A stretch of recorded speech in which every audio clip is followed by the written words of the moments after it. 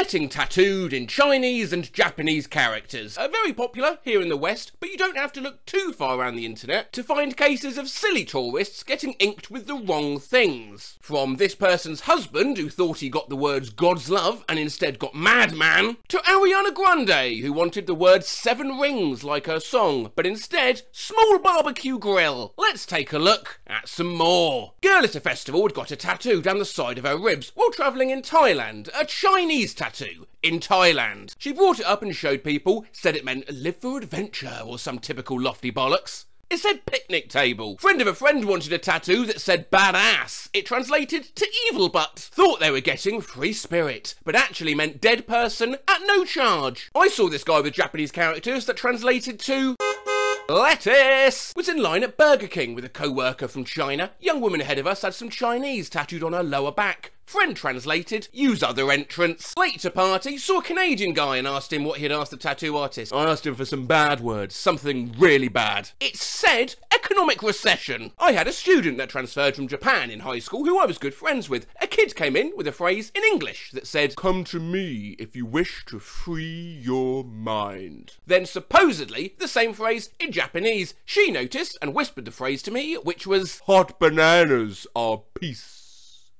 Little Potato, he thought it said respect. My crazy ex stepsister in law had a tattoo that was supposed to say ox, then tried to show it off in China, and everyone laughed at her because it acutely said Public cow. My friend got translator server error tattooed on his arm. Needless to say, he wasn't very happy after I told him. On a grad trip to Mexico, a girl in my grad class got peace in Chinese above her coochie. Turns out it actually says fish. What have you decided to get tattooed here? Well, apparently this translates to bitter idiot. Rice. Gold. Pig upside down. A watery waste. Cheap shit. Thing. Gratis. Sperm. Free rides on turgid model mould. I had a boyfriend in high school with a friend who fucked up. He wanted love and hate on his neck, but got love and strawberries on his neck instead. Sadly, he was deathly allergic to strawberries as well. I saw a McDonald's employee that had Big Bush tattooed on her. Instead of the kanji for love, they had this, which meant their Japanese tattoo read, live, laugh, carp. Not me, but my ex was from China and told me someone's once said intentional DVD rental. I had a friend who wanted when life gives you lemons, make lemonade down his spine. And when he showed it to a girl who spoke that language, it loosely translated to, I have uh, the, the, the lemon sickness. I was out in public when I saw this guy's arm with Chinese writing that translated to ham nugget. Just pear high on his neck, pelvis strength. He thought it was luck on his chest. It was actually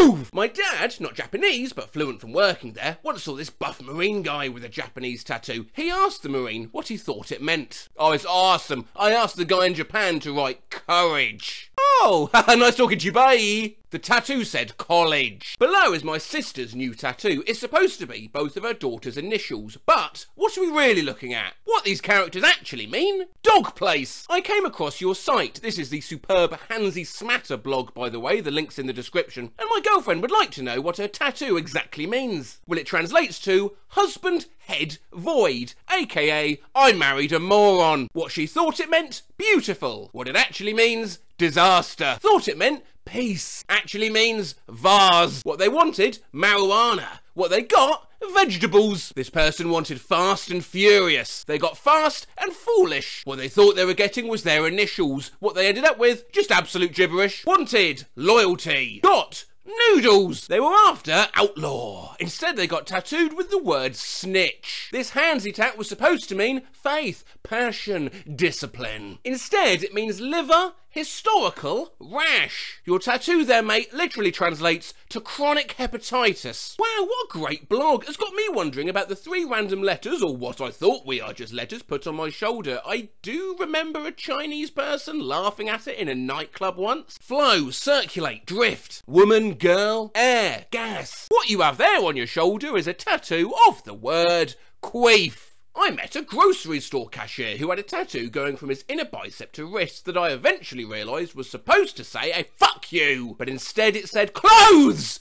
One. I saw someone with the characters for big and father and figured it was like an approximation of Big Daddy. The guy got really agitated with me and told me it was Chinese for eternal wealth. Tiny chicken my friend got that thinking it said his name. Wait, Xiao Ji Oh no, oh no! It means small penis, lemon water pork dumplings along the spine. A girl got a kanji for purity or something of the like. It was actually a tampon company logo. He thought it said, love my grandson. It translated to something like, I love fat boys. Storm drain on a guy who wanted the way of water like Bruce Lee always talked about. This guy I saw had circumcised squirrel on his arm in Chinese. There was a person who shaved their head in order to tattoo foot on their head. My buddy has a literate foreigner in traditional Chinese characters. Hello, mate. Well, what does my uh, tattoo mean? Well, I don't really want to tell you what it means. No, come on, mate. You, you got to tell me what this means. What did you ask for when you went in? I just picked out some some random symbols, mate. Well, what does it mean? You got toilet goblin.